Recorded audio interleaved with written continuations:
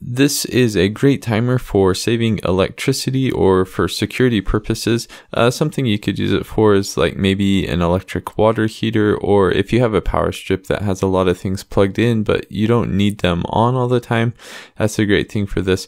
Also, it comes with a random mode, so you could plug a lamp into this, and during the night, the lamp would turn on during semi random time, so it would look like you're at home if you go on vacation or something like that.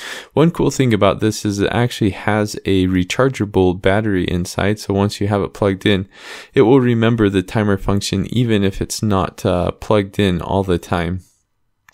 I think that using this is pretty straightforward and simple. To set the clock, you hold down the week and clock button at the same time. Then you can just press the hour or minute to change the time.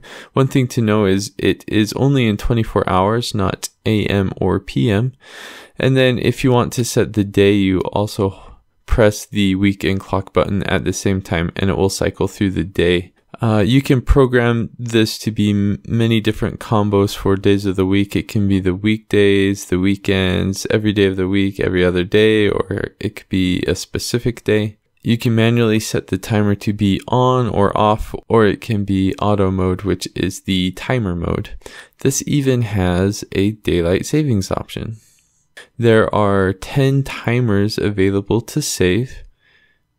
To program a timer, you want to select the start time and the stop time and also the day that you want it to start and stop on. I ran a few tests with a light just to make sure it worked and it worked just as I'd expect it. Like I mentioned before, this is something that'd be nice for something like an electric water heater that you don't want on all the time. That's what I intend to use it for. So I'm really happy with this. Uh, it works great, uh, easy to use, and really pretty inexpensive. So cool timer.